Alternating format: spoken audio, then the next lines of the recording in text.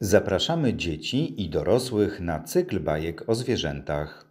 Autorką i realizatorką bajek jest Anna Maria Ptak, leśniczka z nadleśnictwa maskulińskie. Bajki powstają w domowych warunkach leśniczówki ukrytej w Puszczy Piskiej. Codziennie prezentowana będzie nowa bajka. Do zilustrowania bohaterów posłużą leśne, naturalne elementy. Każdy z Was może znaleźć je na spacerze w lesie i ułożyć swoją postać. Bajka o Lelku Kozodoju.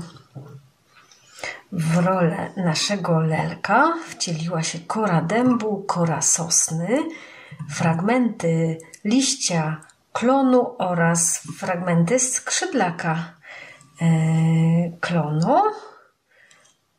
Zaczynamy.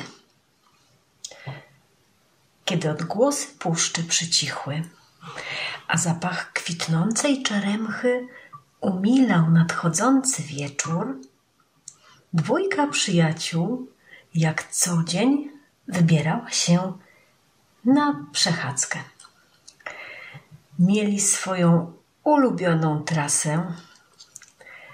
Najpierw prosto pomiędzy brzozami, w prawo przy młodych olchach, a potem kilka kroków wśród starych wielkich sosen i byli na miejscu. Lelek podlatywał kilka metrów do przodu, używając swoich skrzydeł, po czym zawracał i lądował przy swoim towarzyszu wędrówki, jakim był Jerzyk. Ten na krótkich nóżkach, tuptał powoli, a że jeszcze był z niego ogromnie ciekawski maluch, jakby chciał wszystko sprawdzić, niuchał noskiem. Czy mrówki nie próżnują i maszerują wprost do mrowiska? Czy ryjówka wbiegła wprost do swojej norki, czy może przypadkiem przez pomyłkę do domku myszki leśnej.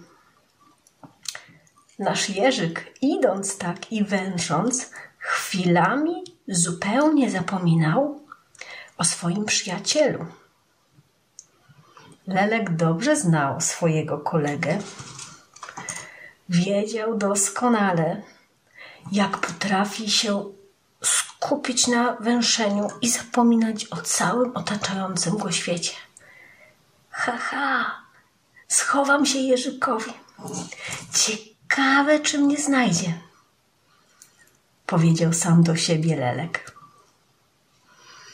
Takie wygłupy robił co wieczór. I każdego dnia Jerzyk nabierał się na te żarty. Swoją drogą dodać trzeba, że w sumie no Jerzyk czekał na tę zabawę wchowanego.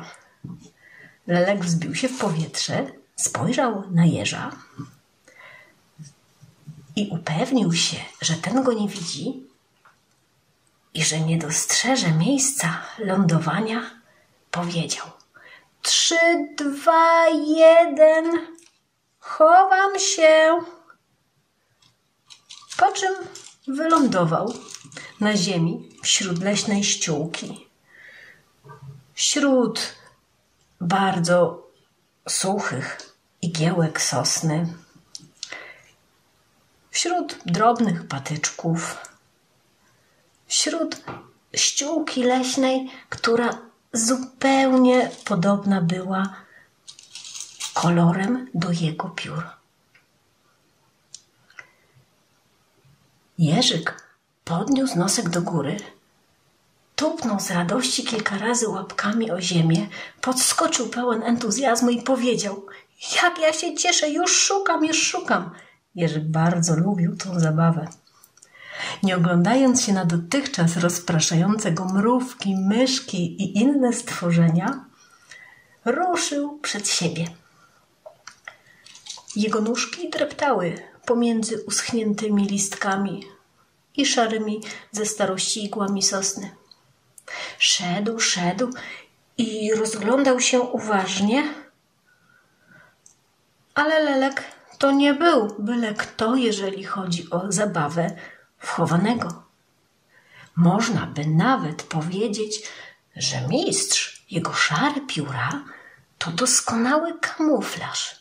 Jeżeli dodamy do tego wybitną zdolność położenia się wśród leśnej ściółki tak, że niemalże nie można go zauważyć z bliskiej nawet odległości, to domyślacie się, jakie trudne zadanie miał Jerz, żeby odszukać lelka.